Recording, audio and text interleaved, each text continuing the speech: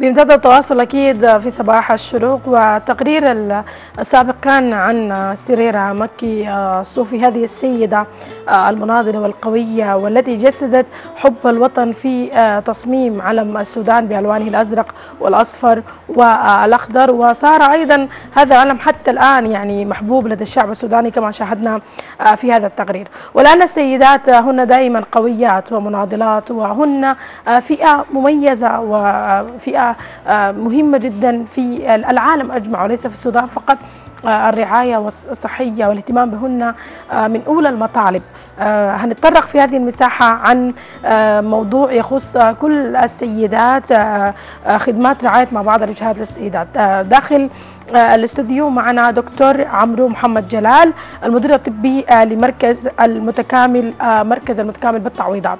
أهلا مرحبا بك دكتور عمرو محمد جلال. صباح الخير عليك. يا أهلا وسهلا. يا ألف مرحبا بكم وشكرا جزيلا قناة الشروق على إتاحة هذه الفرصة وان شاء الله نحاول نقدم معلومات شوية مبسطة عن الموضوع إن شاء الله نعم. وإن شاء الله الناس تستفيد من هذه المعلومات. بإذن الله. آه خاصة إنه الموضوع مهم جدا يعني. هو موضوع مهم جدا. خدمات الرعاية مع بعض الاجهاد للسيدات. نتكلم عن عن اجهاد يعني حاجة ما سهلة صعبة جدا قد تؤدي إلى طبعا. عواقب طبعا. مختلفة يكون في مضاعفات مختلفة. هنتطرق لهذا الموضوع لكن أول نتكلم شوية عن. المركز. مركز آه المركز الطبي آه المتكامل. آه بالتعويضات. أوكي طيب. آه هو واحد من نوافذ تقديم آه الخدمات تابعة لجمعية تنظيم الأسرة فرع ولاية الخرطوم بمنطقة التعويضات شرق النيل.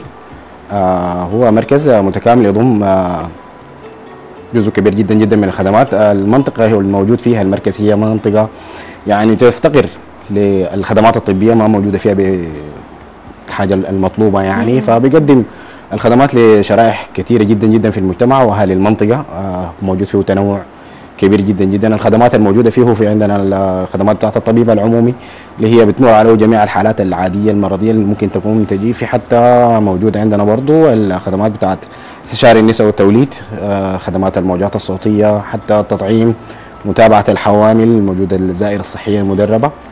كل هذه الخدمات موجودة في المركز. بالإضافة لخدمات تنظيم الأسرة اللي هي الوسائل المستخدمة في تنظيم الأسرة. ف يمكن غالبية الخدمات المتوفرة في المركز, المركز. يعني نقدر نقول هي هي خدمات كبيرة ومهمة لها أو بيفتقر لها المنطقة أكيد. يعني. أيوة. والمركز حقق هذه المطالب بأنه هو يقدم هذه الخدمات الصحية المهمة. طيب الحالات اللي بيتعامل معها المركز؟ طيب بيتعامل مع الحالات الباردة عموما. الحالات اللي بتجي في بعض المرات بتكون في حالات حرجة تحتاج لتدخل معين. من بعد ذلك تحصل الإحالة للمستشفيات الكبيرة. عندنا برضو الحالات اللي يمكن هي بتجي لكن هي ما بكميات كبيرة اللي هي أنا ممكن أقوم أتكلم عنها اللي هي آه واحدة من المشاكل الموجودة. يمكن ما في المنطقة بس في المنطقة وفي المناطق المجاورة المشكلة بتاعت آه الاجهاض الغير المكتمل اللي هو دائما واحد من المشاكل اللي هي تجي و يمكن واحد من الأسباب الكثيره جدا جدا في وفيات الأمهات الحاجة اللي إحنا بنحاول آه على قدر الإمكان إنه نقلل منها والحمد لله ماشيين يعني بطريقة الحمد لله جميلة جدا جدا ويعني في تجاوب من المنطقة والحمد لله. نعم. بنتكلم عن حالة اجهاض غير مكتمل نوضح للناس بصورة. طيب آه الحالات بتاعت الاجهاض غير المكتمل إنه هي السيدة بتفقد الحمل بتاعها في خلال ال 12 أسبوع الأولى من الفترة بتاعت الحمل. مصحوب طبعا بكمية من الأعراض كل الحاجات دي يتم الكشف عنها في المركز. الأسباب اللي ممكن تخلي إنه يحصل الإجهاد متعددة. يمكن الإجهاد يمكن لعدم معرفة السيدة ذاتها في في البداية بالحمل بتاعها أهمية المتابعة بتاعتها. يعني في جزء كبير من الناس ما عارفين إنه المتابعة دي مهمة لأي درجة. فبيحصل الاجهاض فبكون مصحوب طبعا بأعراض دائما من الأعراض الأولية اللي بتظهر لنا إنه بيكون موجود نزيف وهو ده مشكلة كبيرة جدا جدا الحاله بتاعت النزف. فبعدها بيكون برضه في أعراض مصاحبة اللي هي دائما بيكون الألم في أسفل منطقة البطن وفي الألم في الظهر. فدي واحدة من المشاكل اللي هي بتمر علينا نحن في المركز وبنتعامل معها يمكن على فترات. فبيتم تقديم الخدمة داخل المركز آه لكن في بعض الحالات تستدعي الإحالة. ده, ده أصلا هو ده الموضوع إحنا كنا هنتطرق له. بما إنه أصلا في أعراض واضحة على كل سيدة ان هي تكون آه، يعني ملمة بتفاصيل هذه الأعراض. عارفة. الأعراض ال- ال- ال- الأعراض شنو؟ يعني ممكن أيوة. تكون هي آه، بداية للإجهاض وعليها طوال مباشرة مراجعة آه، الطبيب, الطبيب. أو أقرب مركز بتاع تقديم خدمة هي ممكن تصلوا إذا ما في أي مراكز أقرب مستشفى هي ممكن تقدر تصل ليها. طوالي. أيوة. آه، لأنه الاعراض إذا يعني إذا تفاقمت أكثر إحنا بنخاف أكثر حاجة من على النزف ال- نعم. أيوه. إذا كان النزيف حاجة. كثيره جدا آه، فده مشكلة. وواحد قلت لك من أكبر المسببات في وفيات الأمهات خلال ال- الفترة بتاعت الحمل. نعم. طيب نتكلم عن نوعية الحالات اللي بيعمل المركز على تحويلها للمستشفى طيب الحالات مثلا. عندنا الحالات زي ما قلت لك الحالات اللي هي بتجينا حالات الإجهاض اللي هي دائما بتكون تصل المركز شوية متأخرة. النزف بيكون اخذ كم يوم يعني بتجيك بحالة شوية غير مستقرة. المركز ما يقدر يتعامل معها أو في الحالات اللي هي بتجيك في عمر أكثر من ال 12 أسبوع اللي هي ثلاث أشهر ال- الأولى من الحمل أنت بتقدر تتعامل معها لأنه في بعض الأحيان بتحتاج لتدخل جراحي. فهذه لازم إنها هي تتحول على مستشفيات الكبيرة حتى يتم تقديم ال- الخدمات بطريقة أفضل نعم. أما في الحالات ال- غير ال- الحرجة جدا. اللي هي ممكن تتعامل معها في المركز الاستخدام بتاع الشفط اليدوي اللي هي دائما بيكون حصل آه، الإجهاض خ... فبعد كده نحن بنحاول نتعامل مع المخلفات أو ما, ما تبقى داخل الرحم فلازم إنه هو شنو يتم التخلص منه لأنه المشاكل اللي هي ممكن يعملها مشاكل كبيرة جدا جدا فلازم لازم يتم التخلص منه خلال فترة وجيزة. تقدم الخدمة داخل المركز ومن بعد ذلك بيكون في متابعة بتكون معها موجودة في الموجات الصوتية بتتابع بها بتشوف الحاصل شنو بتأكد من خلو الرحم من أي بقايا موجودة داخل الرحم. ومن بعد ذلك بيكون المتابعة مع اختصاص النساء. والتوليد الموجود أصلا هو في المركز. جميل. آه طيب المركز آه ذكرنا إنه خدماته الصحية واضحة تماما لكن آه أغلب المراكز الصحية دائما تعمل على مفهوم التوعية. إذا كان في توعية آه للنساء الحوامل آه أكيد في توعية لما يعني يسبب للنساء يعني آلام مختلفة أخرى وأمراض مختلفة مثل الأمراض المنتشرة سرطان الثدي وسرطان عنق الرحم.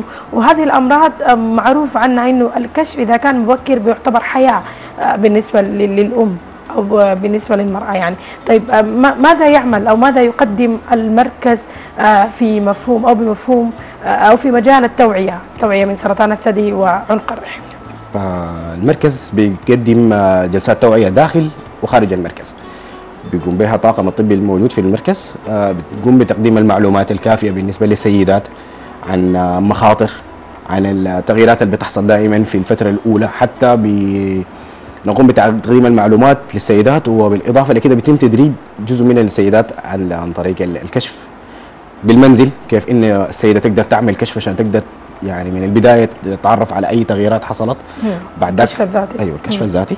فيما يختص بسرطان الثدي وهي تحاول في حدوث يعني أي تغييرات هي دائما تحاول تلجأ للمركز أو أقرب آه مستشفى. مستشفى أو أي مكان. على انها هي تتأكد إنه الحاجة اللي حاصله أو التغييرات اللي هي لاحظت لها تكون حاجة حميدة ما فيها أي حاجة أو إذا كان هناك أي تغييرات آه، لا قدر الله إنها غير حميدة تكون تقدر تتعرف على العلاج وتقدر تواصل باقي حياتها فيما يختص بسرطان عنق الرحم آه عندنا في الخدمة بتاعت الكشف اللي هو ال VIA اللي هو هي كشف لا ما بياخذ أي زمن حاجة كلها سريعة. يمكن أقل من خمس دقائق نعم. سريعة جدا جدا غير مؤلم حتى غير مكلف يعني هو مجانا آه. فهو كشف بي بي بي بيوضح لك إذا كان هناك أي تغييرات تحصل في عنق الرحم عشان إذا كان في أي تغييرات من بدري هو مؤشر إذا كان إنه في أي تغييرات سرطانية قبل سرطانية إذا كان في أي حاجة يعني هو آه، بيوريك حاجة ما تعرف بدري بسيطة جدا يعني جدا أقل من السيطرة تعرف. من بدري جميل. أيوه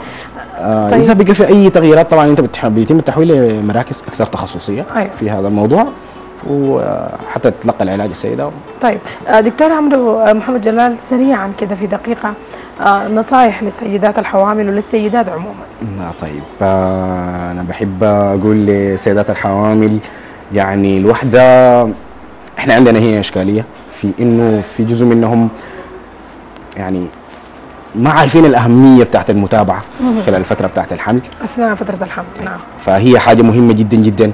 بتقيك من كمية من المشاكل كمية من المضاعفات كمية من المشاكل اللي هي ممكن تحصل في الولادة. وزي ما قلنا الولادة تحصل فيها حاجات وممكن مضاعفات قد تؤدي يعني أحيانا إلى الوفاة. فبتقلل المشاكل دي بتقلل المخاطر دي. حاجة ثانية التغذية السليمة المتابعه الجيدة. آه، التطعيم برضو حاجة مهمة جدا جدا جدا جدا.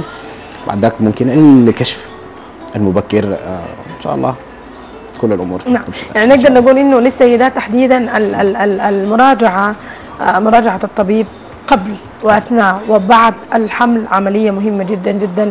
آه، وإذا كان السيدة غير متزوجة أو غير حامل شعرت بأي أعراض آه، جانبية أخرى سواء كان آه، على النطاق الثدي أو في أي مكان عليها مراجعة الطبيب مباشرة. لأنه دائما التوعية المبكره قد تنقذ آه، حياة الملايين. إحنا شكرا كثير جدا آه، دكتور عمرو محمد جلال مدير الم- الم- المدير الطبي آه، للمركز المتكامل بالتعويضات. شكرا, شكرا جزيلا ويعطيكم العافية وان شاء الله.